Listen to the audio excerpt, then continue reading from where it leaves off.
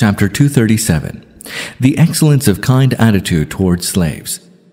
Allah the Exalted says, Worship Allah and join none with Him in worship, and do good to parents, kinsfolk, orphans, al masakin, the poor, the neighbor who is near of kin, the neighbor who is a stranger, the companion by your side, the wayfarer you meet, and those slaves whom your right hands possess. 436.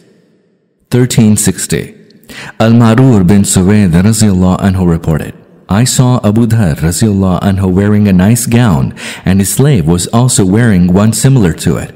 I asked him about it, and he said that he had exchanged harsh words with a person during the lifetime of the Messenger of Allah, peace be upon him, and put him to shame by making a reference to his mother. That person came to the Messenger of Allah, peace be upon him, and made mention of that to him. Thereupon, the Messenger of Allah said, You are a person who has remnants of the days of ignorance in you.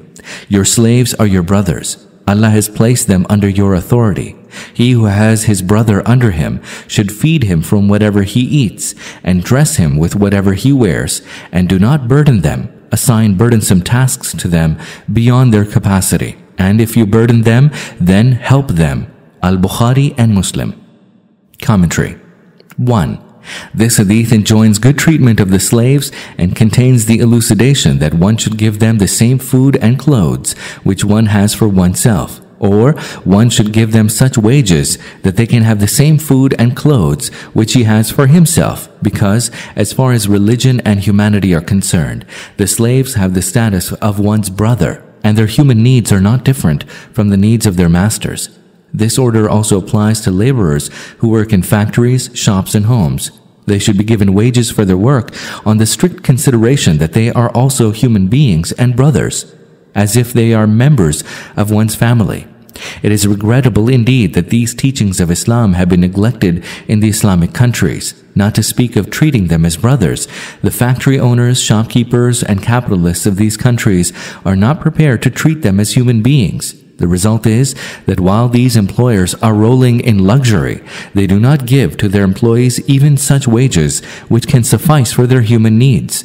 May Allah grant them the ability to act upon the teachings of their religion. 2. It is equally important that the employees and laborers should not be burdened with such heavy work which they are unable to bear. If the employees are ever given any such work, the employers must share such work with them. 3. Pride on one's own ancestry and condemnation of others on this account are remnants of the age of ignorance which were rooted out by Islam. Muslims should keep themselves away from such vainglorious thoughts. It is a pity that this evil of the pre-Islamic age has now been adopted again by Muslims. We find it very common in the present-day Muslim societies. 4.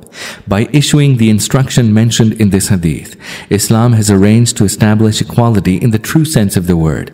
Islam does not make any claim of uniting the labor class and weaker segments of the society for confrontation with the capitalists because this breeds class hatred which ruins the peace and progress of the society. Instead of creating enmity, Islam fosters brotherhood between the employer and employed, the master and the slave, the ruler and the ruled, it also exhorts them to be sympathetic and helpful to each other. By stressing the rights of people, it teaches both classes to love and respect each other. This is the reason why in Islam, the merit for distinction is not wealth and abundance, but faith and fear of Allah alone, which even the poorest of the poor can possess, and which may be missing even in the richest of the rich in society. 1361.